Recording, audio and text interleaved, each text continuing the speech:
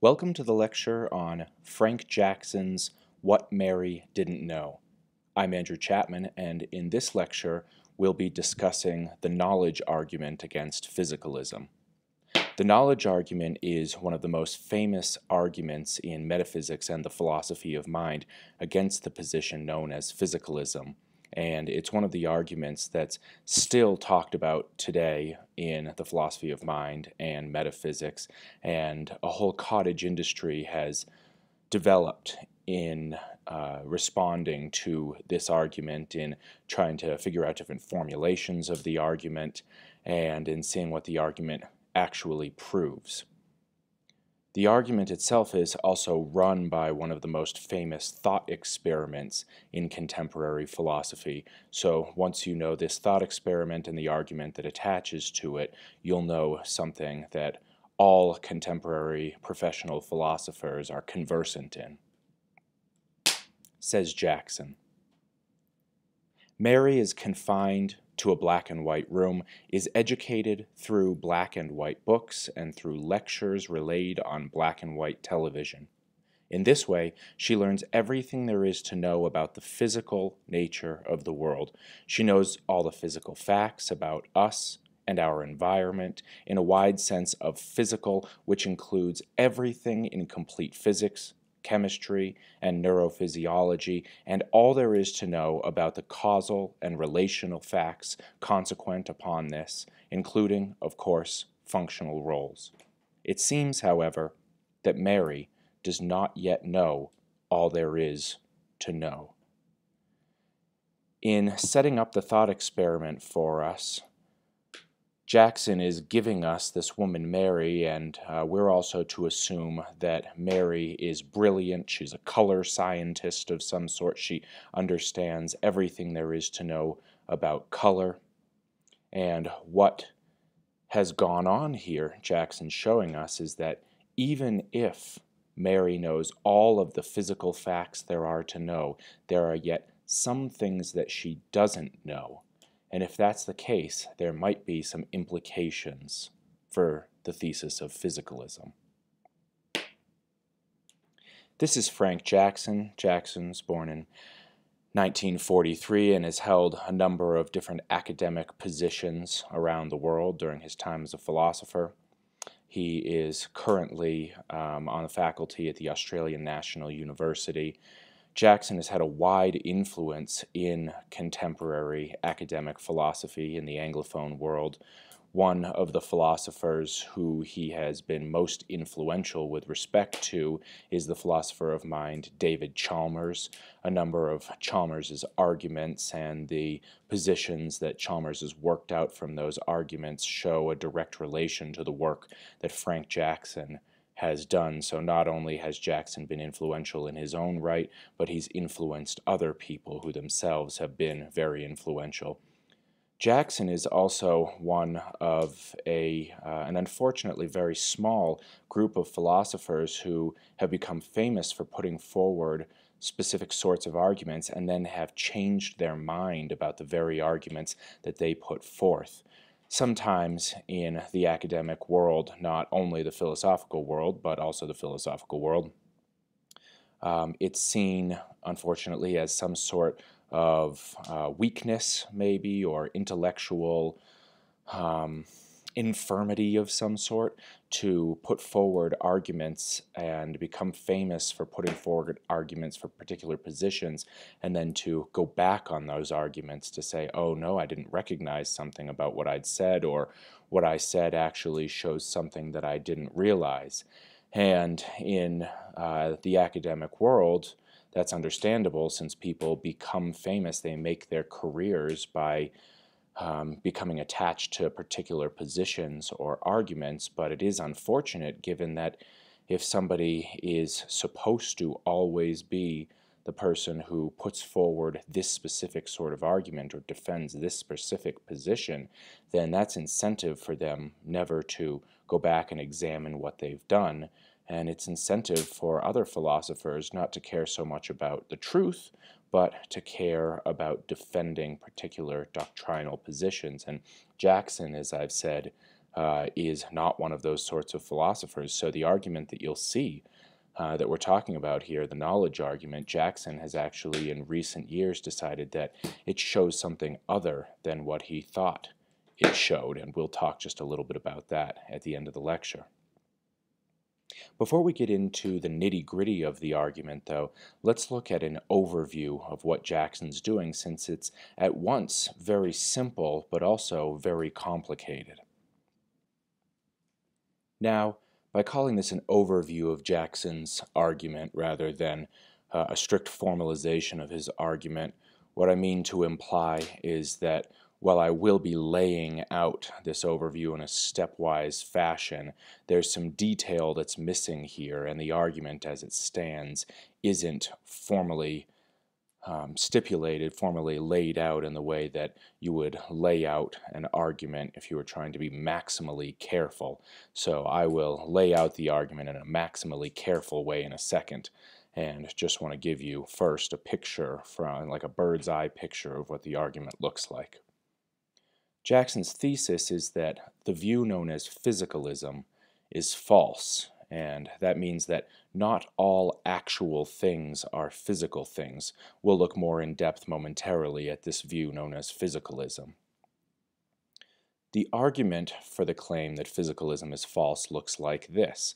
Well, if physicalism were true, then all things would have to be physical things. And if all things are physical things, then that means that there are no facts about non physical things. There can only be facts about the things that exist.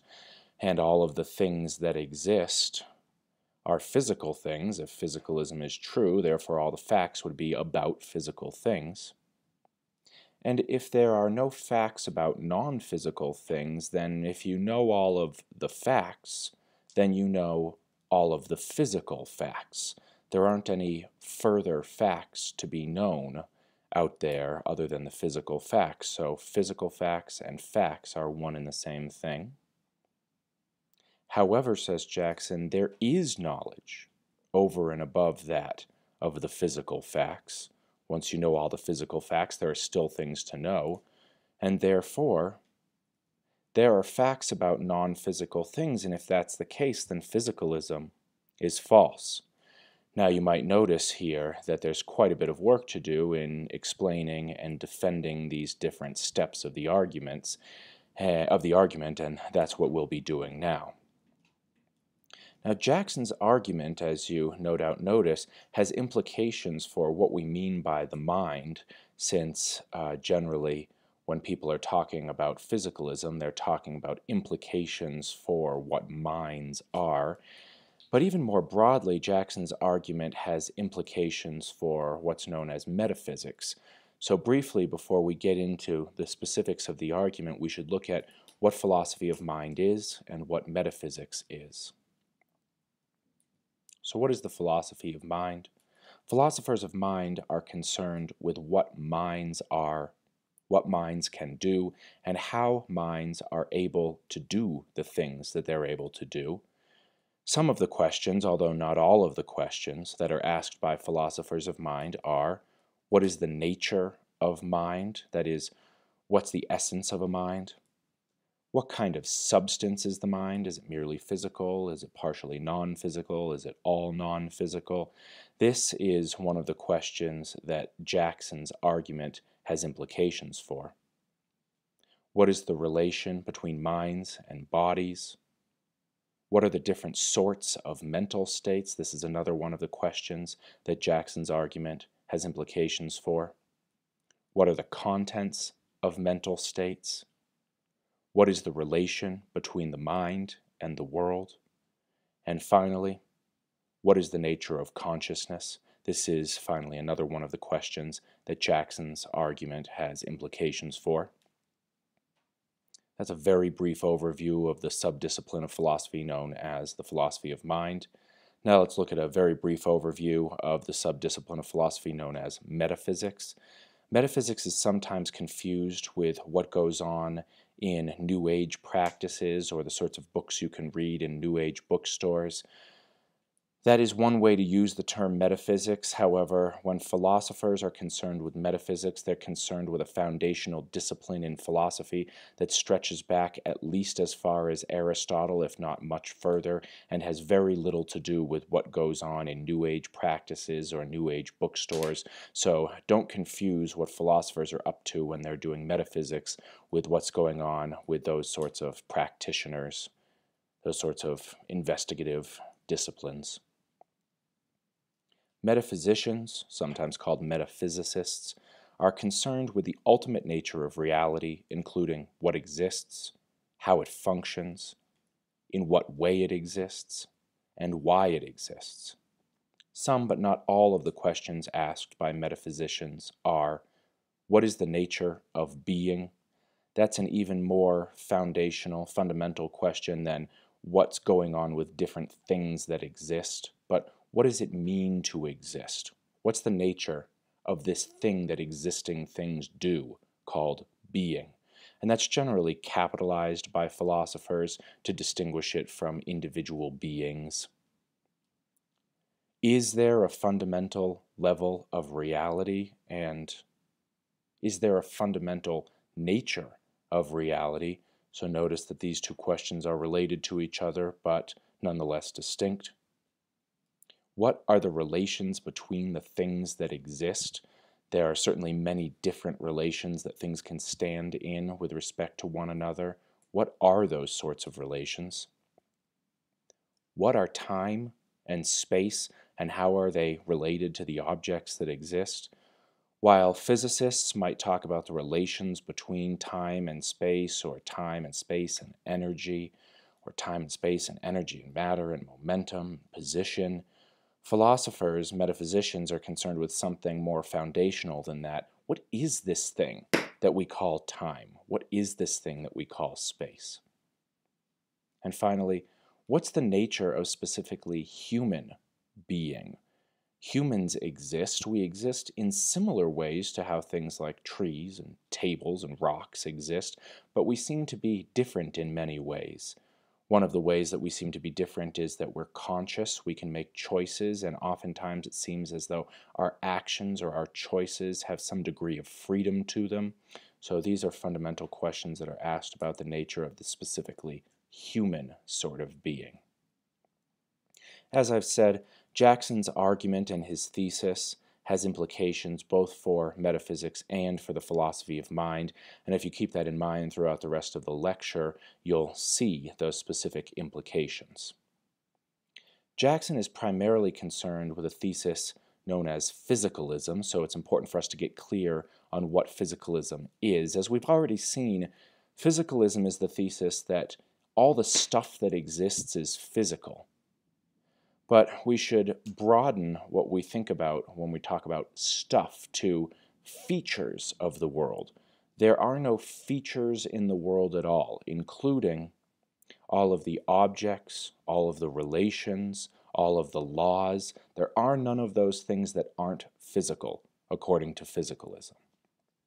Now, physicalism is not the thesis that most of the stuff, most of the features in the actual world are physical, most people think that most of the stuff that exists in the world is physical, or at least most of the stuff that we interact with is physical. But physicalism is the further claim that not most of the stuff, but all of the stuff is physical. It's important to recognize that physicalism is not the same as the thesis of naturalism. Oftentimes, natural scientists especially will confuse the theses of physicalism and naturalism. Now, it might be the case that the natural world just is the physical world, but at least conceptually, these are separate questions. There might be room in the natural world for non-physical phenomena. So, to talk about the natural world is standardly taken to be talking about the world in which we exist, the non-supernatural world. If physicalism is true, then the natural world is physical since all that exists is physical. And then what does it mean for something to be physical? We've been using this term as if we know what it means. Well, this is a very tough question, and it's a question that physicalists need to answer so that we know what we're talking about.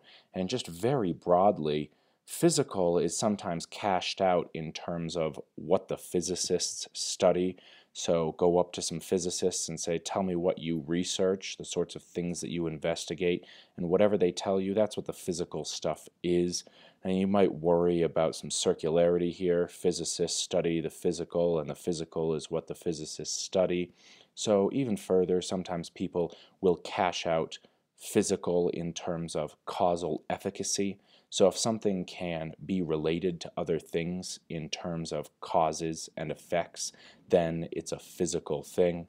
Now, um, I should note that that definition, as well as the definition where physical is what the physicists study, um, those are, are not uncontroversial. They're just sort of standard first step definitions. Now, physicalism is true, there are some implications for epistemology, specifically for what knowledge is. If physicalism is true, as you know, then all the things are physical. Now, knowledge is factive. What philosophers mean by that is that if you know something, then what you know is true. You can't know false things. You can think you know false things and be wrong. But insofar as you succeed in knowing something, then you know something true. Now, if you know everything about something, then you know all of the true things about that thing.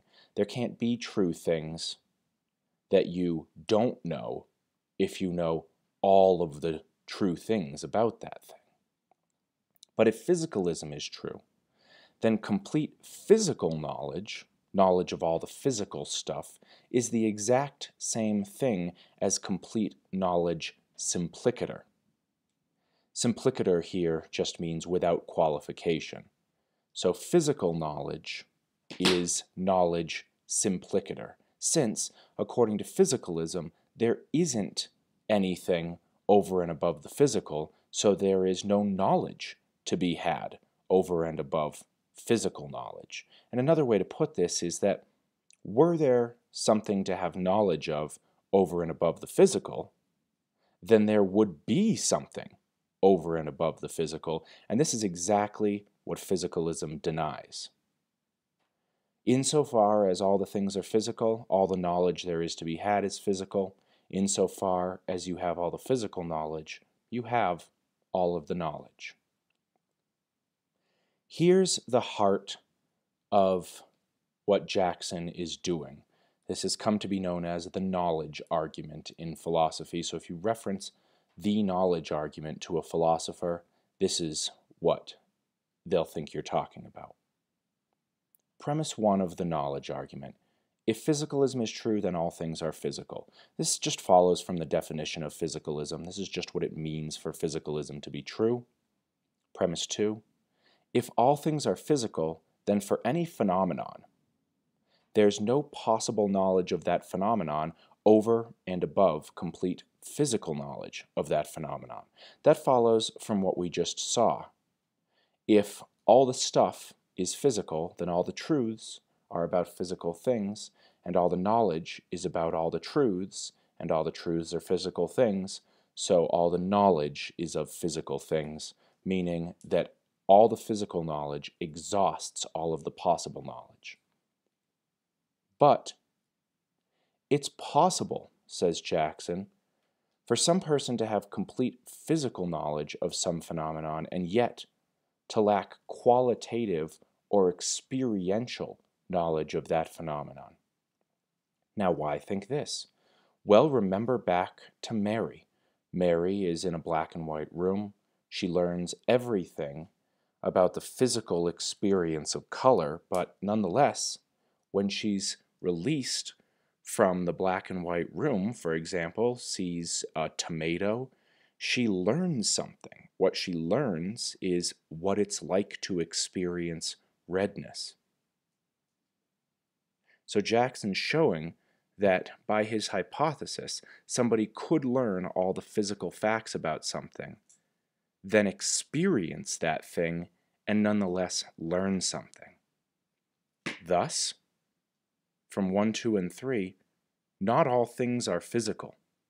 and therefore, given that the definition of physicalism is that all things are physical, physicalism is false. It's easy when you first encounter this argument to think that Jackson is trying to do something a little bit sinister, pull a fast one over on you, but the argument is very simple. Stipulate that Mary has all the physical knowledge. Now, does it seem plausible that when Mary, for the first time, experiences redness, that she learns something? Yes, of course it does. Well, if she can have all the physical knowledge, but nonetheless learn something, then there was something that she didn't know. And if she had all the physical knowledge, but there was still something she didn't know, then some of the knowledge is about non physical stuff. And the only knowledge that's possible is knowledge of the truth. And if there's non physical knowledge, then that means it's true that there are some non physical facts about the world and physicalism is false. So, what does this tell us if physicalism is false? Now, we haven't yet examined the argument fully, but if Jackson's right and physicalism is false, what should we conclude? Well, if physicalism is false, we know that not all things are physical, but there are very there are many different versions of non-physicalism, and some people um, try to get out of Jackson's argument by thinking that there's only one possible version of non-physicalism, and it's something very strange, and therefore we shouldn't buy Jackson's argument, even if we don't know what's gone wrong with it. But while there are some strange versions of non-physicalism, not all of the versions of non-physicalism are strange. And so uh, we shouldn't jump right to the strangest alternative in order to try to refute Jackson's argument. Here are a few versions of non physicalism, going from what I think is perhaps uh, the strangest to what I think is maybe the least strange. The first is anti physicalism. There are a few different versions of anti physicalism, but anti physicalism says there's nothing that's physical. The Enlightenment philosopher George Berkeley thought that there was no such thing as matter, that all there were were ideas and minds, and that those ideas were in those minds, and the minds themselves were non physical.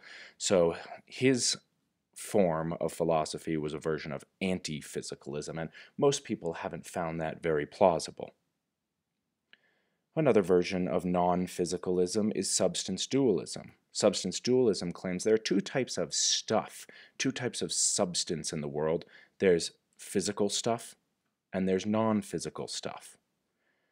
And the physical stuff is generally thought to interact with the non physical stuff, although there are some versions of substance dualism where they don't interact with each other, they just appear to interact. Many people have found substance dualism to be implausible, positing some extra substance in order to make sense of what's gone on in these sorts of arguments seems to be overkill to a lot of people. It's even further unclear how it's supposed to be the case that the physical and the non physical are supposed to interact with each other. Property dualism is another version of non physicalism. David Chalmers, who we've noted um, was influenced by Frank Jackson's work, is a property dualist. He thinks that while at root, all the substances that are out there are physical, substances can have both physical and non physical properties to them. And the physical properties um, are what makes sense of, for example, the hardness of an object, but the non physical properties can make sense of, for example, the experiential properties that consciousness has. And finally, there's liberal naturalism. Liberal naturalism uh, is the view that there aren't two different sorts of substances or properties, there are two different sorts of facts. Now, in, in one way, it makes sense to call liberal naturalism a sort of dualism, although it's not substance or property dualism, so uh, don't go the route of people who misunderstand liberal naturalism and think that it's claiming that there are two different sorts of stuff. It's that there are two different sorts of facts, and the physical facts make sort of make sense of the merely physical stuff, and um, those are related to non physical facts that can explain to us things like consciousness or normativity or ethics. Now, there have been a number of what I'll call abortive replies to Jackson, and these aren't just bad replies or failed replies. I'm calling them abortive because they're not even replies to Jackson. They misunderstand what Jackson's done and then reply to some other argument that Jackson hasn't even given, so they're dead on arrival. These arguments have looked like this. Mary does learn something when she exits the black and white room. Something about sensations and their properties. That's the claim made by the philosopher Paul Churchland. Or Mary has learned some new ability, so she hasn't gained uh, knowledge of particular facts. She's gained an ability, like an ability to ride a bike. She's gained the ability to experience redness or whatever. However, this knowledge itself is completely physical in nature, say Churchland or Lewis. And hence, the fact that Mary learns something is entirely consistent with physicalism. So the thought is, Mary does know a whole bunch of stuff in the black and white room, and when she leaves the black and white room and learns something, what she learns is itself physical. So Mary hasn't learned anything non physical, and hence physicalism isn't challenged. Now, when we're looking at an argument, we should note that there are two and only two ways to challenge the conclusion of an argument. So if somebody gives you an argument and you don't like the conclusion, there are only two different things that you can do to rationally challenge that conclusion. One of the things that you can do is to claim that the conclusion doesn't follow logically from the premises. That is, you can show that there's something structurally wrong with the argument. This would be, as philosophers would say, to show that the argument is not valid, that the conclusion doesn't follow from the premises. The only other thing you can do is to show that at least one of the premises is false. So if you've got a valid argument, but one of the premises is false, there's no good reason to accept the conclusion. So let's look back at the knowledge argument. According to the knowledge argument, physicalism is false because of something that's learned by Mary when she steps out of the room, even though she already has all of the physical knowledge. Now, if we look at this argument, premises 1, 2, 3, and 4, and their conclusion 5, we can notice that the argument is valid. There's no way for the premises to all be true and the conclusion to be false. In fact, I've set it up that way to give the argument the fairest hearing. So, if somebody doesn't like this particular formulation of the knowledge argument, they can't say that the problem with the argument is that it's invalid. The argument is valid, so if there's something wrong with this argument, it needs to be with the truth of one of the premises. Now let's look back at what's supposed to support that third premise, the Mary thought experiment. So notice that uh, Jackson here is claiming that it's possible to have all physical knowledge but still lack some knowledge, the knowledge of what it's like to experience something. So when we look back at this thought experiment, we can see what Jackson's saying. He's saying that Mary has all of the physical knowledge, but it still seems like there's something that Mary doesn't know. Now, Chalmers, excuse me, uh, Lewis and Churchland accept that it does seem, given the way that this thought experiment is set up, that there's something that Mary doesn't know. However, what they disagree with is that Mary learns everything there is to know about the physical nature of the world when she's in the black and white room. What they're saying is she learns a whole bunch of physical stuff, but there's still more physical stuff to learn. Now, this is not an acceptable reply because it doesn't challenge either the validity of the argument or the truth of any of the premises. It challenges the thought experiment as Jackson has set it up. So imagine, by analogy, that I say, for the sake of argument, let's say that I buy a really big dog, and the dog eats so and so much food every day. How am I going to deal with this specific problem? And you respond by saying, Well, what if you didn't buy a big dog? I would rightly reply, No, no, no. You've misunderstood what's going on here. I'm saying, for the sake of argument, let's just say that I do buy a big dog. I want to know how to deal with the problem that might arise if I do that. If you say, you didn't buy a big dog, you're misunderstanding what's going on here. The way that Jackson has set up the argument, he's saying, for the sake of argument, let's say that Mary learns all of the physical facts. To respond with, no, she doesn't, is to misunderstand what's happened here. And so, what Lewis and Churchland have done is not responded to what Jackson has set up. They've responded to their own argument that doesn't have anything to do what's with what's going on here. Now, that's a subtle point, but it's important both in the history of this argument and in understanding how to respond to arguments. If somebody asks you to consider something for the sake of argument, if you think that it's possible to consider that thing for the sake of argument, you can't then go and throw it out. So let's look at some other possible replies that people could give to what Jackson has said here, his argument against physicalism. And I say other possible replies because I think that a completely acceptable possible reply is just to accept what Jackson has done. In fact, I think some version of liberal naturalism is probably true, and that arguments like Jackson's lend support to the truth of liberal naturalism. But if you don't like accepting what Jackson has apparently proven here, here are some things that uh, you could do in reply. The first is to say that when Mary learns all the physical facts, she does learn what it's like to experience redness, even though she's never seen something red.